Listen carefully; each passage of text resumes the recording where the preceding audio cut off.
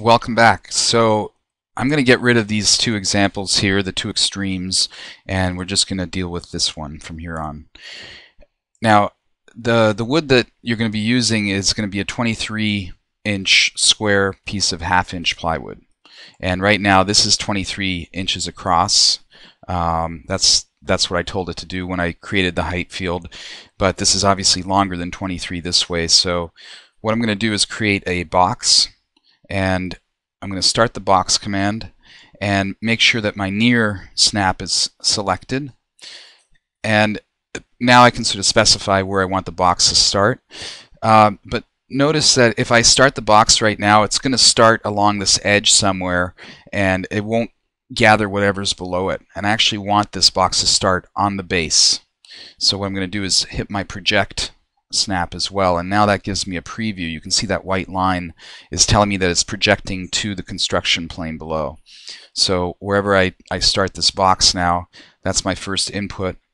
And the second side I'm going to just simply type 23 and so that gives me 23 as a width. And I'm going to type 23 again. And so now I've got a square section. And I'm going to just type 23 again for the height now this box is, is uh, at the edge on both sides of the surface and you can see that there's a little bit left over and that's what I'm going to cut. So if I go to solid intersection and then select the box and then the surface it'll give me the intersection between those two and create something that's enclosed as you can see below. Now this um, this object right now, or this this uh, setup, is uh, quite a bit taller than than the wood that we're going to be using. So if I were to take a measurement right now and just snap and snap, that's 4.7.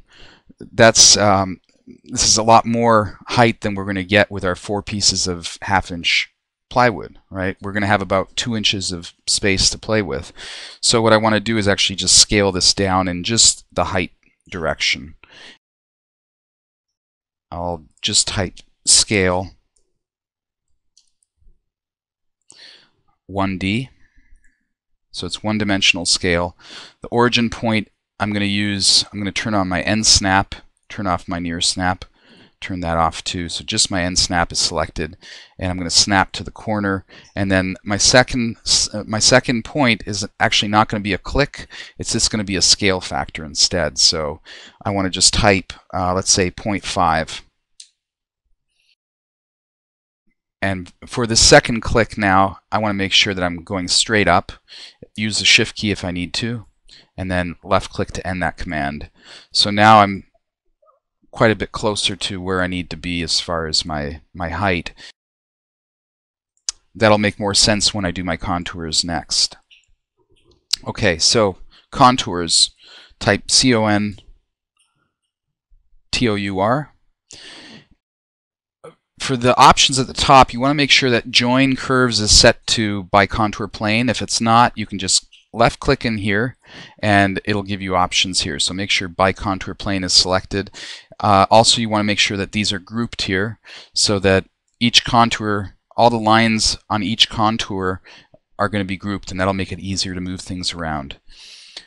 So now it says select objects for contours. I want to use my surface. Click uh, enter. And now the contour base plane, this is um, base point is the first um, contour that I'm going to create. So what height is that going to be at?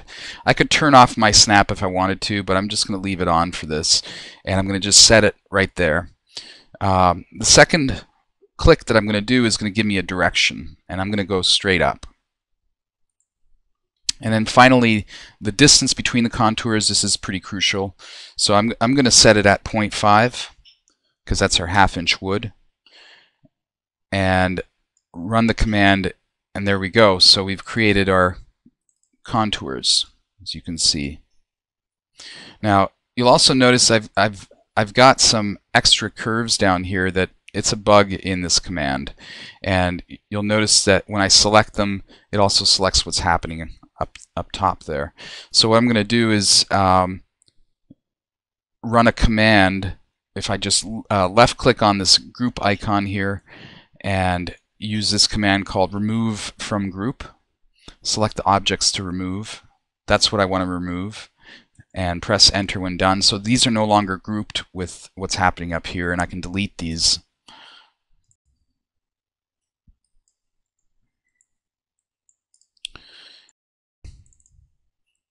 Finally, one last thing that we need to look at here is this contour command didn't actually create contours throughout the whole object. So you'll see here, for instance, I've, I've selected one of these contour lines that goes across, and you'll notice that right here it's completely missing the model. It actually does it, I think, down below here as well. Yeah, right here. There's a couple gaps in some of those lines. The, the other two lines should be fine, so that looks okay. I think the top one is probably okay as well. It'll just it'll depend a lot on your on your actual surface. So we're going to fix this manually and to do that we're going to type section. Again we want to make sure that this is set to yes. Join curves by section plane, that looks good. And assign layers, uh, current layer should be okay. So I'm going to select one of these problem curves that I've got here and you got to zoom in fairly good to actually be able to select it. Actually, I'm sorry. Once I started this up, it's asking me to select the object to section. I don't want to section these lines. I want to section the actual surface.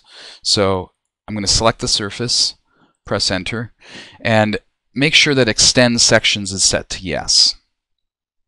So now I'm hovering close to this contour that I'd originally created. And when it says near, I'm going to click.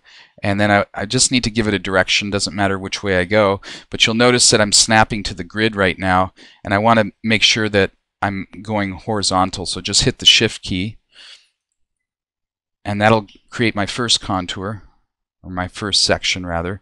And then I'm going to do the same for the second area that gave me a problem as well. And then click to end that. And so now I have two lines that are sort of one on top of the other, two two contours or two sections. And you'll notice that I can select between one and the, and the other. And this is the good one. You can see that it actually extends throughout. This is the one that doesn't. So that's what I'm going to select, and I'm going to just delete that. So now I just have the good one right there. Right. I'm going to do the same thing down below here. And again, you might have to zoom in a little bit to actually be able to select it. At the same time, you don't want to zoom in so far that you can't see what's happening, and that can be tricky sometimes. Again, that's the group that I want to get rid of. You can see how it doesn't extend here. So that's what I want to select, and I'm going to delete that. And now, again, I just have one good cross section going across. So to, um, yeah. We're going to get rid of this poly surface. We don't need anymore. We can just hide that. Now I'm ready to to, to go to print. Before I do that though, I'm going to just mock this up. So I'm going to select everything here and go to surface, extrude curve, straight. You want to make sure that cap is set to yes. And then the extrusion distance is going to be exactly what we used for our contours. So 0.5 is what you want to use. And then press enter. And it's now going to extrude and create closed uh, volumes from that.